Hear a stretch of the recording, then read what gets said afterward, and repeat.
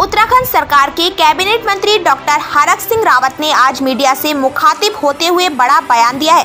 हरक सिंह ने 2022 विधानसभा चुनाव न लड़ने की इच्छा ज़ाहिर की है।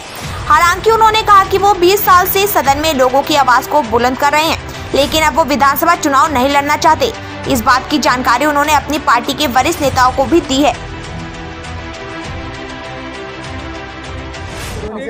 मैं ईमानदारी से बताऊँ, मैंने पहले भी कहा मैं अपनी पार्टी के सारे नेताओं से कह चुका हूँ, मैं बहुत ज़्यादा इच्छुक नहीं हूँ एमएलए चुनाव लड़ने के लिए। बिल्कुल भी मैं मन से नहीं हूँ, मैं आपको बताऊँ। इसलिए कि बहुत मैं सोचता हूँ कि छः बार एमएलए रहना उत्तर प्रदेश से लेकर उत्तराखंड में और इतनी बार मिनिस्टर रहना, लेकिन कई बार क्या होता है कि फिर आप लोग कल कहोगे मैं माना कल चुनाव लड़ना पड़ा और फिर आप कहोगे देखो हर हरक सिंह के तो धारी माँ के कसम बेकार चलेगी।